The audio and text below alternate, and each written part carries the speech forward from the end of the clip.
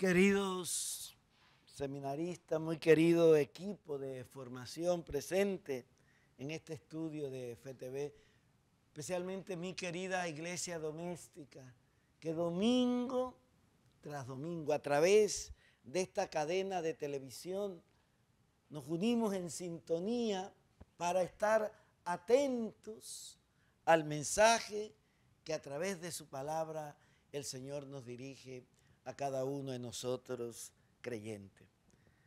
La celebración de este domingo, como la de todos los domingos, es una invitación siempre a que descubramos algo de lo que Dios quiere de cada uno de nosotros.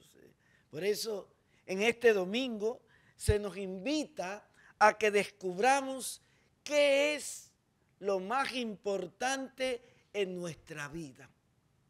¿Qué es lo más importante en nuestra fe? Porque quizás lo hemos olvidado y tenemos que saber qué es lo más importante en mi vida y en la fe para poder llevarlo a la práctica. La liturgia de este domingo nos dice que lo más importante, lo que nos pide Dios es el amor. O incluso que el amor es lo que Dios exige a cada uno de los creyentes. Si a ti y a mí nos preguntaran, ¿qué nos exige Dios? ¿O qué me puede exigir nuestra religión? Lo único, lo más importante que mi fe, que Dios, que nuestras religiones nos pueden exigir es el amor. Y ahí viene ahora la, pregunta, en el tiempo de Jesús y en nuestro propio tiempo. ¿Cuál es el mandamiento principal? Ahora que estamos en tiempo de hacer encuestas, sería importante que cada uno pudiera decir, ¿y cuál es el mandamiento principal? Tal vez alguno podría responder e ir a misa los domingos.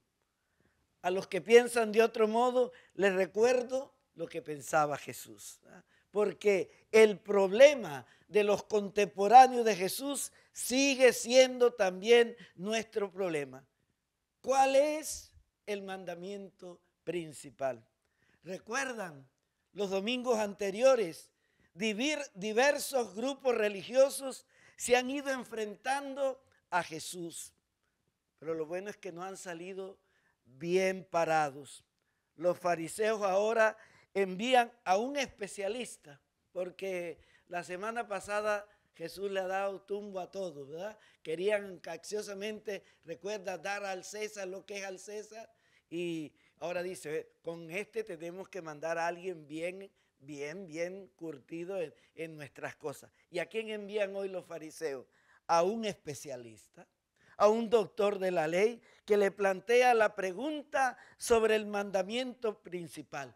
Y para poder comprender esta pregunta de, este gran doctor, que ahí en algunos se puede cumplir lo que siempre decía mi abuelita, algunos estudian para bruto, ¿verdad? Este gran doctor quiere preguntarle a Jesús algo muy sencillo para ver qué responde. ¿ah? ¿Cuál es el mandamiento principal? ¿Por qué? Para poder comprender esta pregunta un poco absurda, debemos recordar que en la antigua sinagoga, en los tiempos de Jesús, se contaban con 613 mandamientos. Nosotros con 10 y nos estamos quejando. En el tiempo de Jesús habían 613 mandamientos, 248 preceptos y 365 prohibiciones. Ante este cúmulo de mandamientos, es lógico que surgiese el deseo de sintetizar, de saber qué era lo más importante y la novedad. Ahí está la novedad del Evangelio, la novedad de Jesús. La novedad de la respuesta de Jesús radica en que le han preguntado por el mandamiento principal y Jesús añade un segundo mandamiento tan importante como el primero. Amarás a tu prójimo como a ti mismo. Una vez más, su respuesta entronca en la más auténtica tradición profética. Los profetas antes de Jesús denunciaban continuamente lo que hoy también como iglesia tenemos que denunciar muchas veces, y es la realidad del hombre, el deseo del hombre de llegar a Dios por un camino individual e intimista que olvida fácilmente al prójimo. Y hoy mucha gente, incluso católico, eh, siempre están hablando de paz, pero una paz de mi hermana. Y miren, incluso van a la iglesia para salir en paz. Cuando vamos a la iglesia no podemos salir en paz, tenemos que salir revueltos porque la palabra de Dios siempre nos revuelve y por eso la gente busca el zen, busca las otras cosas para estar serenitos. Por eso eh, la, la respuesta de Jesús va en la línea de que no podemos llegar a Dios por un camino individual y eso aquí en la iglesia se da yo y Dios, Dios y yo, y no tengo nada que ver con el prójimo. Y no podemos tener una fe que olvida al prójimo. Durante siglos, muchos israelitas, igual que muchos cristianos, pensaban que a Dios se llegaba a través de actos de culto, de peregrinaciones, de ofrendas, de sacrificios costosos. Sin embargo, desde siempre los profetas nos han enseñado que para llegar a Dios hay que dar necesariamente el rodeo del prójimo, preocuparse por el pobre, por los oprimidos, buscar una sociedad justa, porque Dios y el prójimo no son magnitudes separables. Tampoco se puede decir que el amor a Dios es más importante que el amor al prójimo. Ambos preceptos, en la mentalidad de los profetas y en la mentalidad de Jesús, están al mismo nivel. Yo no puedo decir amo a Dios y no amo al prójimo. Y no puedo amar al prójimo si no amo a Dios. ¿ah? Y por eso amar a Dios y al prójimo han de estar siempre unidos. De estos dos mandamientos, dice Jesús, pende la ley entera y los profetas. Por eso Jesús hoy quiere acentuar, sin amor al prójimo, sobre todo sin amor y preocupación por los más pobres y necesitados, no se puede amar a Dios. Desde esta perspectiva, queridos hermanos, yo quisiera también compartir con ustedes, a la luz de lo que hemos escuchado, esta realidad que estamos viviendo en el mundo y que vive también nuestro querido Panamá. En los últimos días hemos sentido cómo se ha expresado de diversas formas el descontento nacional. Y como obispo hemos manifestado la necesidad, y lo reiteramos, de tener espacios de encuentro para lograr consensos en medio de esta difícil realidad que vive el país. Asistimos a un momento de la historia, de la historia nacional, en donde confluyen múltiples crisis que dificultan la comprensión desde una visión integral. Nuestra posición como obispo ha sido iluminar desde la fe y desde el magisterio social de la iglesia. No responde a ninguna ideología ni a ninguna doctrina política. ¿ah?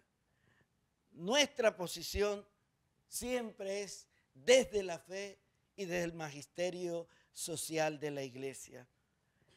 Porque el cuidado por nuestra casa común no es un eslogan, no es un requisito de nuestra fe, porque estamos llamados a proteger, a las personas y al planeta, viviendo nuestra fe en relación con toda la creación de Dios.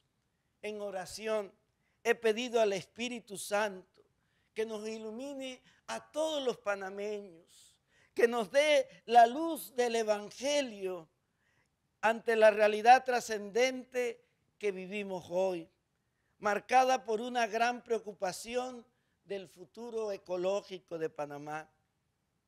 Encontré una reflexión del Papa Benedicto XVI que me pareció valiosa compartir este domingo sobre lo ambiental y lo humano. Y el Papa Benedicto XVI señalaba lo siguiente, abro comillas, la crisis ecológica brinda una oportunidad histórica para elaborar una respuesta colectiva orientada a cambiar el modelo de desarrollo global, siguiendo una dirección más respetuosa con la creación y de un desarrollo integral. Por tanto, dice el Papa Benedicto, desearía que se adoptara un modelo de desarrollo basado en el papel central del ser humano, en la promoción y participación del bien común. Ya lo hemos comentado con anterioridad y lo veo con mucha claridad. Hoy más que nunca atravesamos una crisis ética en todos los campos de la vida social, económica, política, cultural, ambiental, religioso, sindical, entre otros. Nos encontramos entre dos modelos de concebir nuestra vida.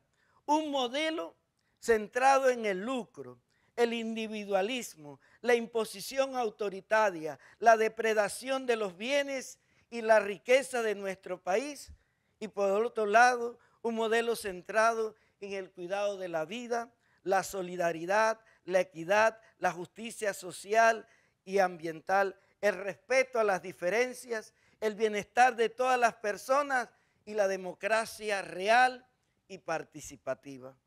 No deseo, por respeto, hermanos, quedarme solo constatando esta realidad. No sería responsable de mi parte.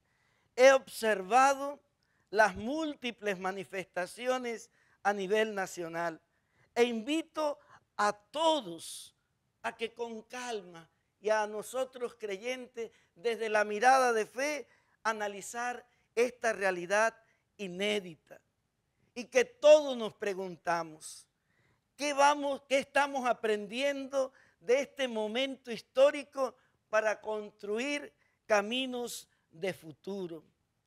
Tomemos este momento de crisis como una oportunidad de aprendizaje, de cambio, de reinvención propositiva, sueño.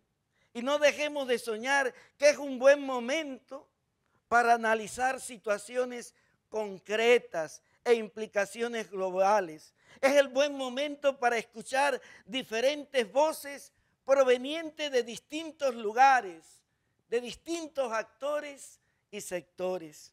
Demos espacio al encuentro y a la escucha donde todos, todos y todos participemos. Esta además, está además recordarle que como iglesia seguiremos proclamando que la vida humana es sagrada, que la dignidad de la persona es la base de una visión moral para la sociedad. Esta creencia es el fundamento de todos los principios de nuestra enseñanza social. Hoy lo hemos dicho, el Evangelio nos llama hoy a ser constructores de paz. Nuestro amor por todos nuestros hermanos y hermanas exigen que fomentemos la paz en un mundo rodeado de violencia y conflicto. Con palabra del muy querido San Pablo VI, les puedo decir que si quieres paz, trabajemos por la justicia. Para la iglesia, el signo de los obispos, que en su primera fase acaba de concluir hoy, ha dado una gran oportunidad para poner en práctica aquello que hoy hablamos nosotros al interior de la iglesia como sinodalidad, que no es más que esa capacidad de escucha, de discernimiento, de las grandes decisiones traducidas en un lenguaje más social y político, pueden hablarse de consensos, de compromisos, de ejecuciones en grandes planes y programas en nuestros países. Hermanos, apelamos a la buena voluntad de todos los hombres y mujeres, a la decisión del gobierno por buscar el interés, la protección y el bien común de todos los que habitamos en esta querida tierra. Animémonos como panameños y panameñas a mirar el futuro con esperanza. Confiemos en las posibilidades de un país nuevo para todos y todas, donde se viva la fraternidad, la amistad social y el auténtico amor, donde juntos, con el cuidado de la creación, marchemos hacia un desarrollo sano, equilibrado y armónico. Un país que sea casa común, patria, hogar. Es posible cambiar, es posible reorientar nuestro país. Se abre aquí un camino de esperanza que nos da la confianza de un Dios misericordioso y esta esperanza no nos defraudará. Recordemos siempre todos, la patria no comienza hoy con nosotros, pero no puede crecer y fructificar sin nosotros. Por eso nos toca a nosotros seguir creando y construyendo la patria.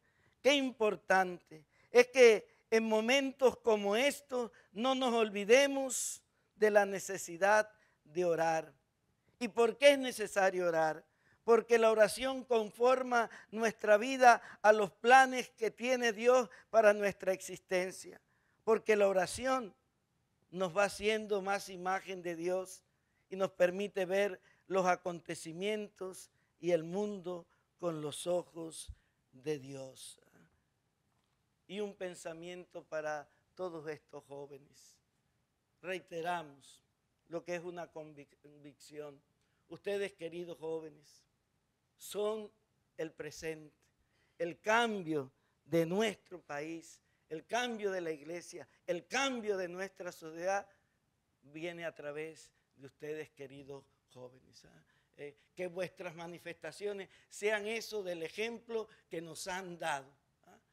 sin, sin taparse la cara, sin violencia, sin destruir, sino con ese derecho de poder manifestarse y alzar vuestra voz. De verdad, ustedes son esperanza porque estoy convencido, el cambio llega a través de ustedes. Y parece que es un peso grande que le ponemos a ustedes, pero la responsabilidad de este nuevo Panamá solo puede venir de la mano de cada uno de ustedes, queridos jóvenes. ¿ah? Oremos para que en todas nuestras acciones reflejemos el amor de Dios.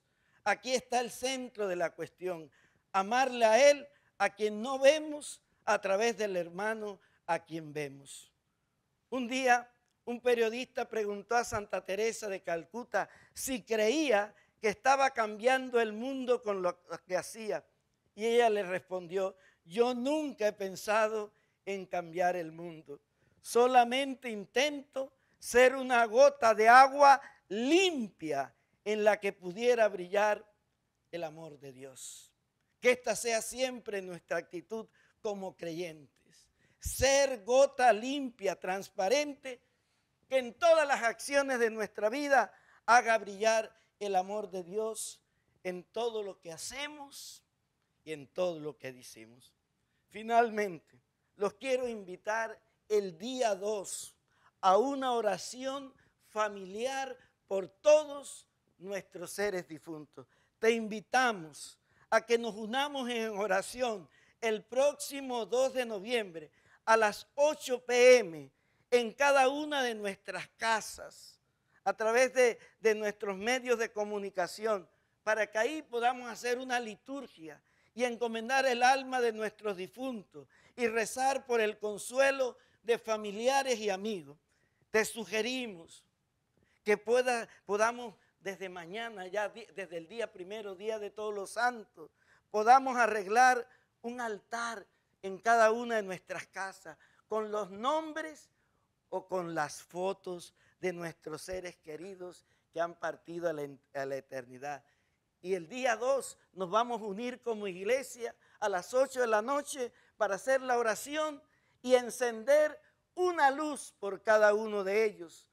Una vela que será signo de la esperanza, signo de la presencia de Dios en medio nuestro, signo de que la muerte en la cruz ha sido vencida. Y ese día podamos también agradecer a Dios por el tiempo en que han estado con nosotros nuestros seres queridos. Pero también desde la fe es un momento para reafirmar nuestra fe en la resurrección y poder decir, muerte, ¿dónde está tu aguijón? Muerte, ¿dónde estás si en el árbol de la cruz tú has sido vencida? Nuevamente, queridos hermanos, en medio de la realidad que vivamos, no permitamos enfrentarnos hermanos contra hermanos, pero sí tenemos la responsabilidad de todos de ir construyendo ese Panamá que queremos, pero ese Panamá que nos merecemos. thank you